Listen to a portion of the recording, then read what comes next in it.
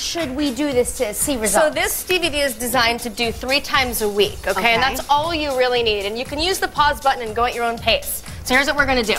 This is one of my favorites. This is called cheek to cheek. So go into a plank, which you know is hard enough by itself. Planking. And it looks like this. Look, you're gonna tap.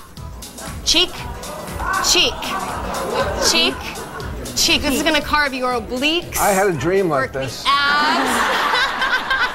cheek. Tap it out. Come on. Now, normally we would do this for a whole minute to fatigue. Here we go. Good job. You feeling that, David? you think it Tap. just takes a minute to Tap. fatigue? I feel Tap. pretty fatigued. Tap. All right, let, let me show you one more because what we did is we put a lot of old school moves that we know work. So hands and knees, and we made them Okay. more dynamic. So you're going to do a push up.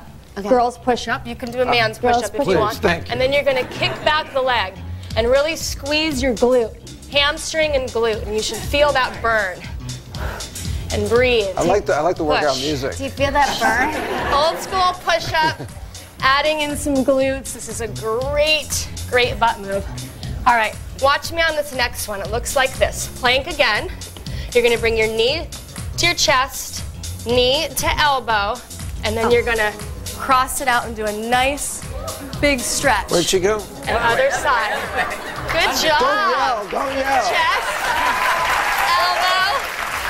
Yes. Good job. Wait, How's that feel? wait, You feel that stretch? Okay, here we go. This so, one? knee to chest, Knee to Knee to chest. chest. knee to opposite elbow, Knee to opposite elbow. and then And then Gelman yells at you. Gelman yells at you. Wow. Good job.